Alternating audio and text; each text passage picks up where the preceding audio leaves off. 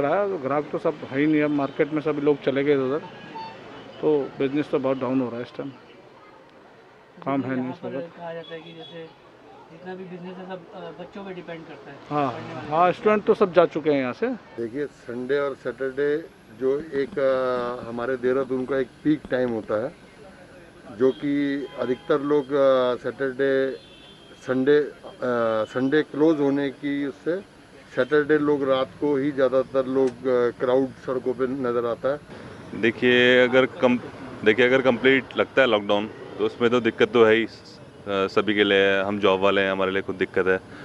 But अगर ये कुछ पीरियड में बांटे इसको, जैसे जैसे वीकेंड में है, या दो दिन, और पूरी गाइडलाइंस वगैरह अगर लोग अगर प्रॉपर वो करते हैं फॉलो तो उसी में हमारी भलाई भी है और गवर्नमेंट की भी है क्योंकि अगर पूरा लॉकडाउन करता है तो एक तरीके से गवर्नमेंट को भी बहुत बड़ा नुकसान है इसमें। इतना नहीं है कि जैसे लॉकडाउन लग जाए और तो उससे गरीब आदमी क्या खाएगा? जो डेली कमाता है वो क्या खाएगा? भाई वो भी तो उसको भी तो उसके भी तो बच्चे होंगे। या अपना आप ही होगा वो क्या खाएगा? ऐसा कीजिए कि जिससे लॉकडाउन भी ना लगे और कोरोना भी ख़त्म होने की आसार हो। इसमें तो बहुत फ़र्क है पर इस समय बिज़नेस को तो ज़्यादा तवज्जो मेरे हिसाब से तो नहीं देनी चाहिए। ठीक है मैं मानता हूँ आदमी का ज़िंदगी का संचालन बिज़नेस से होता है या किसी नौकरी से होता है।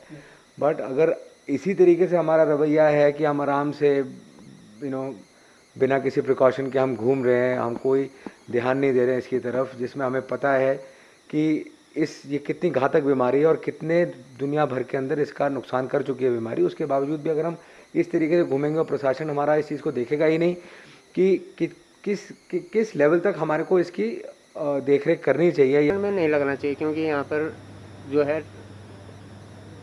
वातावरण सही है और केसेस ज़्यादा नहीं है। और जो हैं भी तो जल्दी ठीक भी हो रहे हैं।